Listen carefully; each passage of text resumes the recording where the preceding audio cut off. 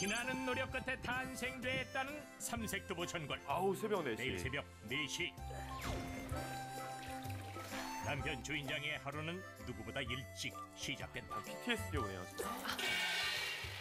콩을 가는 것부터 그리고 혼자. 만드시는 거 안 힘드세요? 아니 이거 뭐 혼자 만들어야 돼요. 왜요? 늘할 수도 없고 뭐 매일 하는 거라. 또 품질 그래도 유지를 위해서 직접 하셔야 도와주시면 되나 좀 봐요. 편하지 않으세요? 아 그럼 나랑 같이 일찍 나와야 되니까 힘들어서 안 돼요. 혼자 하면 돼요. 두부를 만들려면 콩부터 준비해야겠죠? 자 어제 어제 불려놓은 콩으로 이제 아침 두부 시작하는 거예요. 우선 밤새 불려놓은 콩을 곱게 간 후 콩물만 따로 끓인다. 그리고 콩물을 익히는 동안 쉼없이 저어줘야 하는데 아 이제 이거 완성된 거예요? 아니요 이제 아직 한 90, 93도 이게 100도 정도 끓어야 이 콩의 분자가 완전히 분해가 돼요. 콩물을 계속 젓는 이유는 뜨거운 불에 콩물이 타지 않도록 하기 위해서다. 정성까지 들어가 고소한 맛 남게 된 콩물. 뽀얀 자태를 뽐내는데 이만 해도 고소합니다. 그렇다면 다음에 해야 할 것? 두부를 만들려면 간수를 넣어야 되는데 해양 심층수가 그래도 가장 적합하고 와. 세균도 없고 맛도 좋고 어, 그래서 해양 심층수 쓰고 있어요. 몽글몽글해진 이 질감 좀 보소.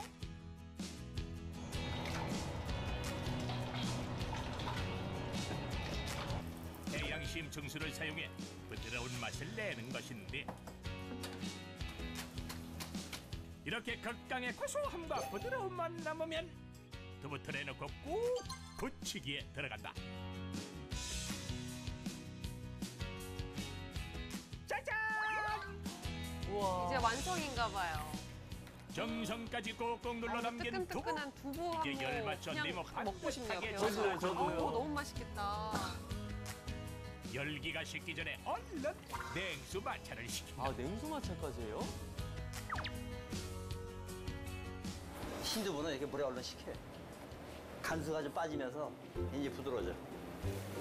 이렇게 여기서 식혀서 냉장고 들어갑니다. 피부 대하듯이 하는 사장님 거. 지금 오늘 하루 종일 수염 관리하듯이. 보고 있는데 계속 흰색 두부가 나오는데 아까 삼색 두부였잖아요. 그렇죠? 지금요. 얼른 보여줘요, 주인장. 막 하시려던 참이었는데. 빨간색 두부의 비밀은 바로 비트. 그 땅속의 보약이라 불리는 뿌리 채소 비트. 비트의 붉은색은 베타인이란 성분으로 항산화 작용을 돕는 것으로 알려져 있다. 혈관을 좀 늘려주는 혈액순환, 고지혈증 이런 데 굉장히 좋아요. 일부러 생각해서 어, 이런 걸 첨가해서 만드는 거예요. 건강, 건강 두부. 그리고 녹차와 쑥으로 만든다는 초록 두부. 신세계 비밀이 다 작용을 나왔습니다. 돕는 녹차 가루와 비타민이 풍부한 쑥 가루를 황금 비율로 조합해 두부에 넣는다고.